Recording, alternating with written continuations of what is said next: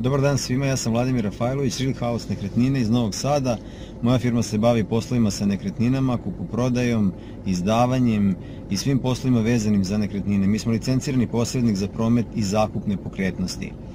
Iskoristit ću ovu vožnju Novim Sadom da vam ispričam e, šta sve kupac treba da radi nakon što je kupio nekretninu i nakon što je overio kupoprodajni ugovor. Znači samim, samom overom ugovora, isplatom cene niste još uvek završili kompletan proces kupoprodaje, ostaje vam još četiri stvari koje morate da završite da bi se taj posao kompletirao.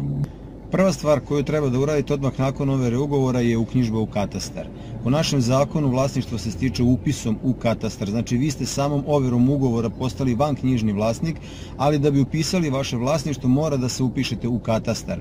Za to vam je potreban original ugovora, potrebne su takse koje se plaćaju u katastru i potrebna je fotokopija vaše lične karte. Taj zahtev je potrebno podneti u roku od 30 dana od dana overe ugovora. Druga stvar koju treba da uradite je da podnesete zahtev za plaćanje poreza na prenos apsolutnih prava. E, ukoliko, niste, ukoliko nemate uslove za oslobađanje od poreza ili povrat PDV-a, podnosite zahtev PPI 4. Obrazac PPI 4 podnosi se na ime prodavca.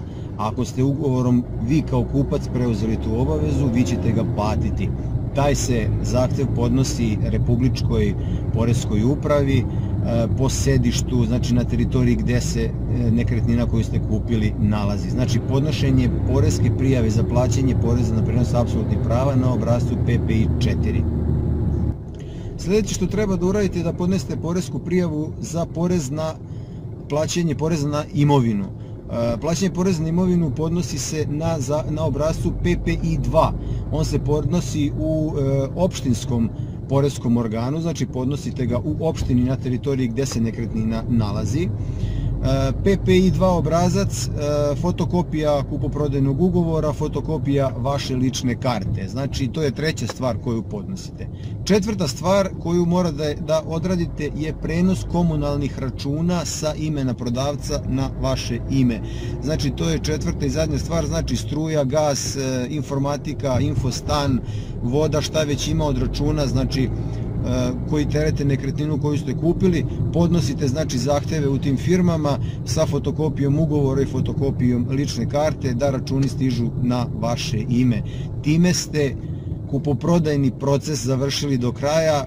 Ja vam čestitam i želim da uživate u vašoj novoj nekretnini, a mi se vidimo u nekom sledećem videu. Pozdravljam vas!